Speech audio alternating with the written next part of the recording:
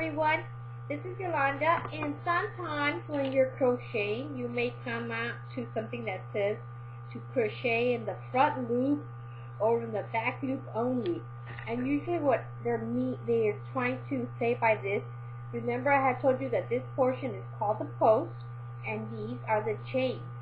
If you look closely on your chain, you're going to see that there is a front loop, which is this one towards your body. The one that's closest to your body is the front loop. The one away from your body is the back loop. So this is what they're talking about. Usually when we crochet, we go through both of them like this.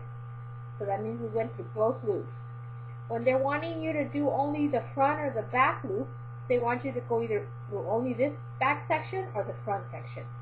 To go through the back, like say they wanted a double crochet, which is what I'm doing here, you will wrap your yarn and you're going to do your stitch as normal, except that this time, like say they said, um, front loop or back loop only, excuse me, back loop only. So then we would only go in to the back portion of the chain. So we'd go here, leaving the front loop free. We'd pull out and do our stitch only in the back. So that is how it would look. So then we would go in the back loop and do our stitch. So now you can see that the front here, front portion of our loop is free, it's not used, and we're just going in the back loop. This could also be done in a single crochet, a half double crochet, this is a double, it could be a treble, whatever your instructions are. But here, we're only going in the back one.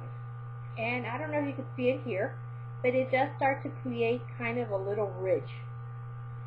And sometimes you will do that to create that rib effect.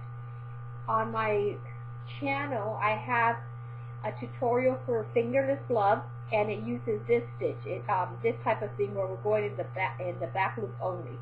So that would be you going in your back loop, the front loop there. I hope you can see it. It's free, and you've only gone there in the back loop. I hope this is helpful. Please click the like button if you like, and don't forget to subscribe and share with your friends. Thank you and have a great day.